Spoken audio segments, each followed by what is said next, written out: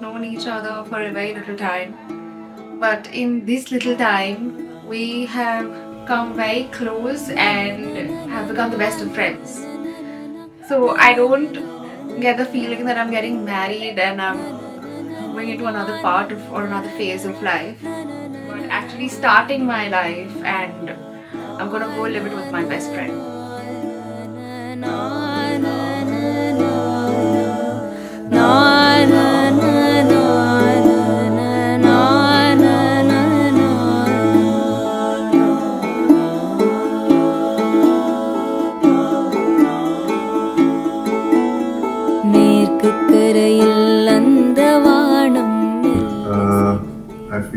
excited.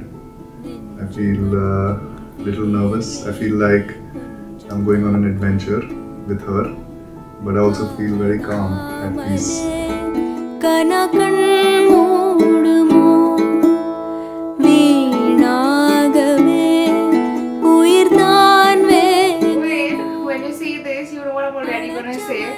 Are you ready for a lifetime of adventure? I know you are.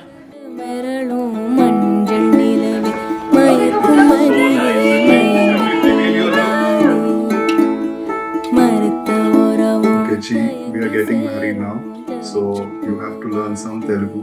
You have to learn the difference between Mudda, Muddu and Muddi. You cannot sit at the lunch table and say, give me Muddi, give me Muddi. Uh, we will be kicked out of my house. Okay, I'm just telling you now. And I'm sorry everyone is going to see this.